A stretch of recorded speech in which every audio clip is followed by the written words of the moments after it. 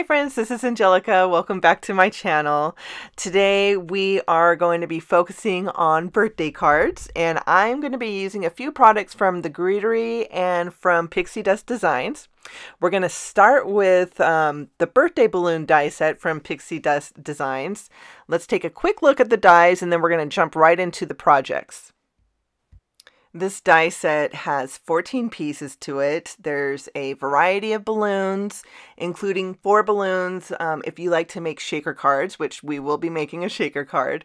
There's also four different strings for the balloons, and we're going to start with the heart balloon. So I'm going to set those aside. I'm going to ink them with Distress Oxide inks. For the yellow balloon, I'm using fossilized amber and squeezed lemonade. I also have a Mossy Forest finger sponge out to help add a darker tone to the areas that I want to have shadows. I do like to add a different kind of color outside of the yellow family when I'm um, coloring with yellow or painting, um, inking with yellow. It just really helps darken um, the yellow tones. Usually um, yellows only just get brighter, so the mossy um, the mossy forest ink is just going to really tone tone down the yellow and add a really nice shadow effect, which is what I'm looking for um, with the with this balloon.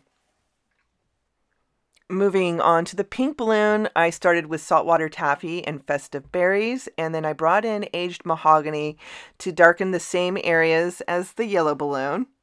And I'm going to color all three balloons the same. So the last balloon I wanted to be orange, so I picked dried marigold and a rusty hinge. To put the card together, I've already stamped a card panel with the Greetery's ticker tape background stamp with um, a light gray ink. And I'm going to stamp a sentiment from the Greetery's Sentiment Suite birthday stamp set onto the panel. And I'm going to put the balloons on the panel in the arrangement that I want. I pushed the balloons up just a little bit and put a little black dot right underneath the um, balloon. And I'm going to use my T-ruler to draw a straight black line from that black dot to the bottom of the panel. This is going to be the strings for my balloons. I'm also going to use my black pin to add a little line at the bottom of the balloons to look like the string is wrapped around the balloons. And I'll attach the balloons to the card with thin foam squares. And that's going to finish this first card with the heart balloons. I love how these little heart balloons turned out. I'm glad I decided to ink them with Distress Oxide ink so I could add some shading to them. But now we are going to use solid cardstock for the next card. I pulled out a rainbow of um, paper scraps, cardstock scraps, and I die cut them with the balloon di dies, the oval balloon dies.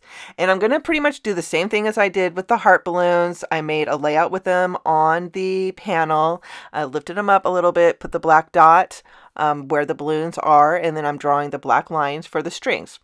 I'm going to attach the balloons to the card front with thin foam squares and for the balloons that are on the edge of the panel, I am going to put the thin foam squares on the panel instead of on the balloon. That way, when I trim the edges, I'm not trying to cut through foam squares.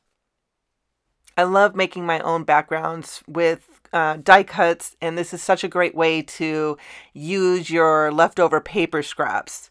So once I finished getting this card front done, I added a heat embossed happy birthday from the Greetery's birthday stamp set, and that finishes this card. Now I did make a second card pretty much in the same manner using the smallest balloon die in this um, birthday balloon set. And then instead of using a black pin for the strings, I used a sparkle gel pen. For the next card, I'm going to use the large heart balloon frame die to die cut a window in the middle of a blush pink card panel.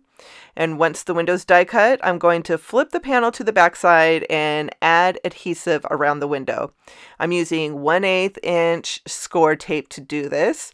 Once I have it completely around the window, I'm going to take the backing off and attach a piece of acetate to the adhesive. I'll use my detail scissors to trim around the window to cut off the rest of the acetate that I don't need. And then I'm going to use thin foam strips to um, make a well pretty much for the shaker card. So I take the backing off of the strips first, and this is going to help the adhesive or help the strips curve with the heart. I'm going to fill the window with Sunny Studio Stamps iridescent pastel confetti. This confetti is so cute and it matches the blush pink cardstock wonderfully. So I'm not going to overfill the window. I just want enough in there so when you do shake the card, the confetti can move. Uh, once I like the amount that I have in the window, I'm going to put another piece of acetate over the window and use my detail scissors to cut off the excess.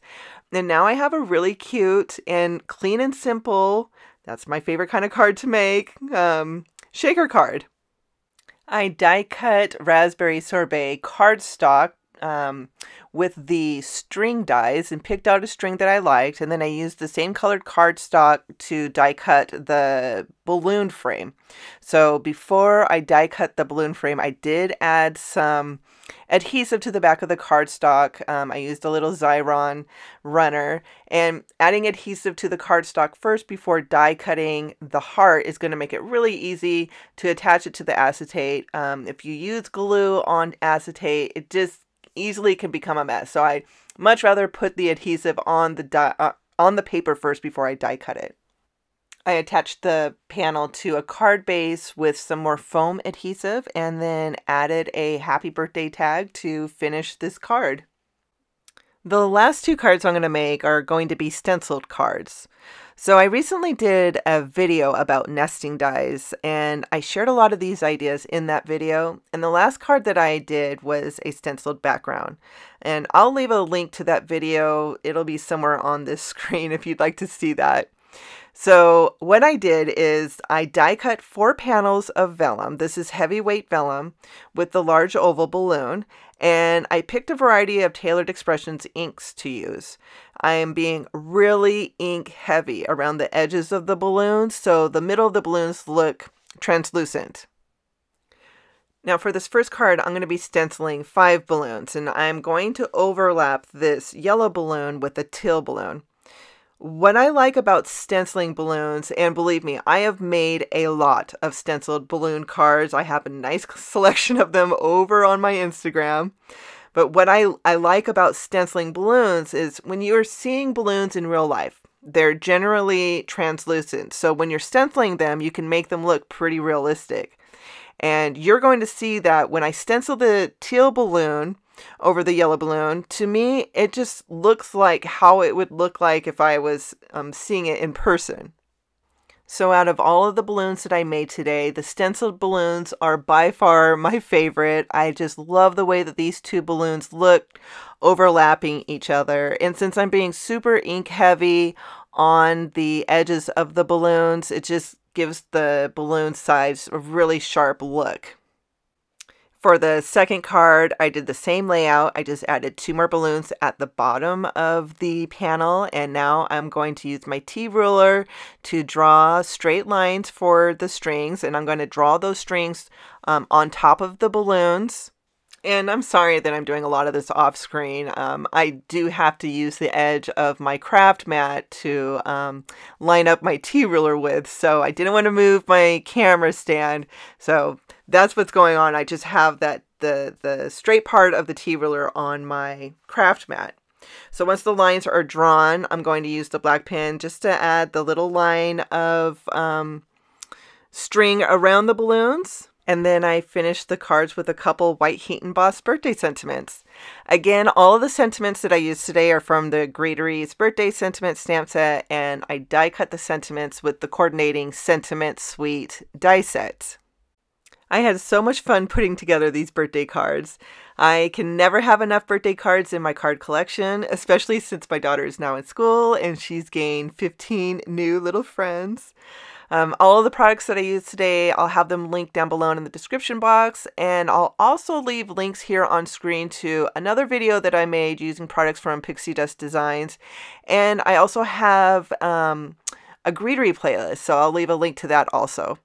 I want to thank you so much for stopping by. Be sure to like and subscribe before you leave, and I will be back shortly with another video. So I'll see you then. Bye.